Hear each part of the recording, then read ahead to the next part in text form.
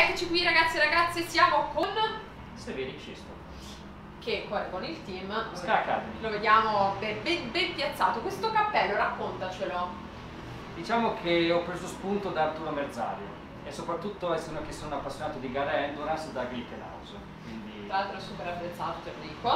Come sta andando la fuori in pista? Allora, siamo partiti che avevamo preso bene come sorteggio iniziale e siamo stati circa a ridosso della top 10.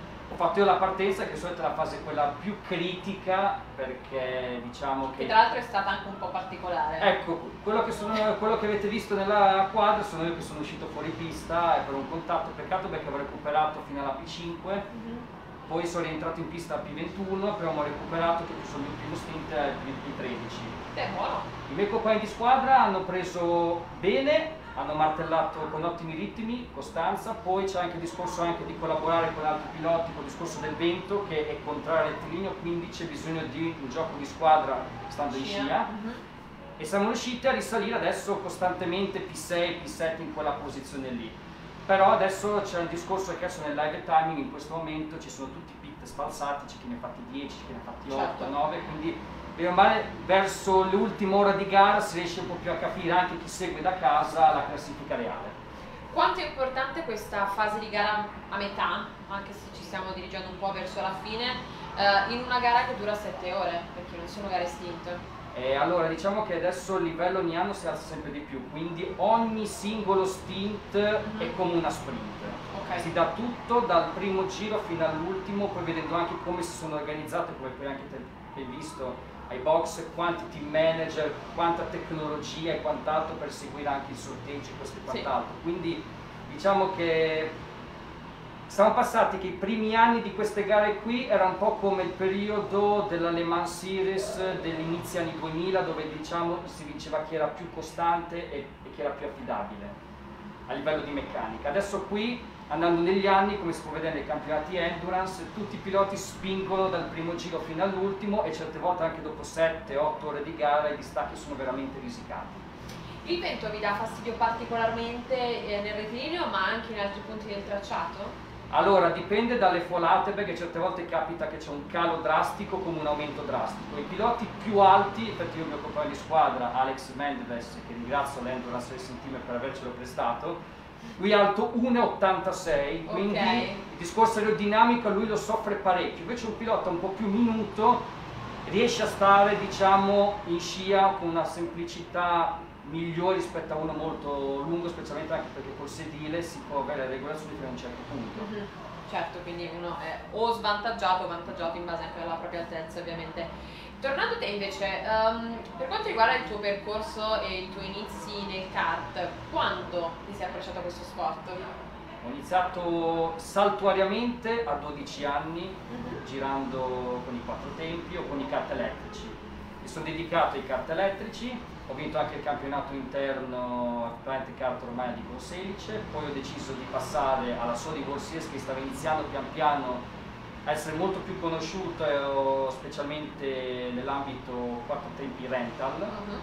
E dopo da lì, dal 2014, sono arrivato fino ad ora che ho corso per svariati team, ho fatto sempre più esperienza, poi faccio parte anche dell'Accademia Red Racing, Marco Zippoli è il mio coach tra l'altro. Quindi... Marco, conosciamo. E, e quindi pian piano poi dopo ti fai conoscere, vi- visiti tante piste e poi dopo da lì inizi a trovare un pochettino la tua quadra, ascolti sempre il più esperto e poi dopo quando ti canalizzi dentro diciamo in questo ambiente qui e inizi a portare fuori dei risultati, dopo inizi a essere chiamato da svariati team anche solamente a spot per il comparso in una gara e lì continui sempre ad accumulare esperienza.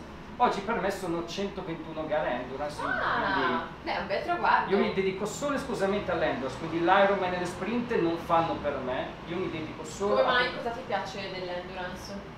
L'endurance si sta molto tempo in pista, a discorso anche dei viaggi che si fanno, ma soprattutto è una gara che non finisce subito al primo giro. Hai tempo di recuperare. Una sprint, bene o male, come tutti noi sappiamo, quando inizia poi il recupero è molto difficoltoso. Invece con l'endurance hai modo, con la strategia e con i piloti e quant'altro, di riuscire a rimetterti di nuovo in gioco, qui non è tutto perso. In effetti, come avete visto prima, sono uscito fuori pista da più 21, ma adesso cerco di stare, proviamo a stare a ridosso della top 5. E l'obiettivo della giornata vostro qual è? ovviamente adesso correndo per lo Sky Academy e per le nappe di piloti che abbiamo è sempre puntare podio vittoria. Con, la, con il team come ti trovi? Col team Siete trovo- affiatati? Sì, abbiamo avuto un cambio di piloti perché sono entrato a far parte della metà dello scorso anno, quindi nel mese di giugno, e ci sono stati alcuni che hanno lasciato il team, ci sono stati dei nuovi piloti.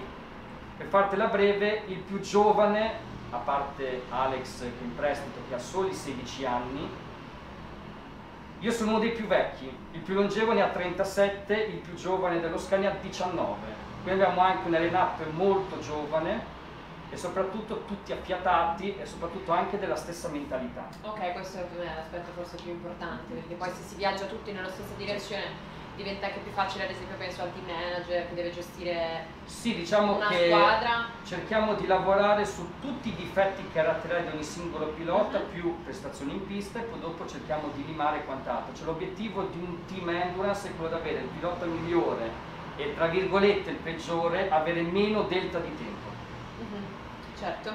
Ehm, invece ti volevo chiedere se dovessi o se avessi la possibilità più che altro di correre in pista con un pilota storico della Formula 1, del rally, insomma, buttaci dentro al calderone chi, chi vuoi, chi sceglieresti? Bello che ho già corso con eh, dei piloti, ho già corso anche una 24 di Jesolo con Giovanni Lavaggi, Mhm, ho avuto modo di sfidare anche Pierluigi Martini al Misanino.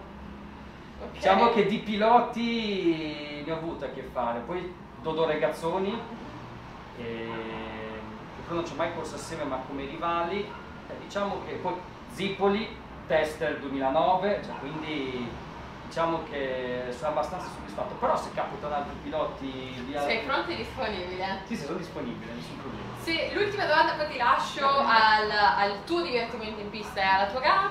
Ti volevo chiedere un pregio e un tuo difetto come pilota. E partiamo con l'autoanalisi. No, pregio è che io bene o male mi riesco ad adattare a qualsiasi team. Ne avrò Possiamo- cambiati 8-9 team, eh, chiunque è stato con me si è trovato abbastanza bene. Mhm.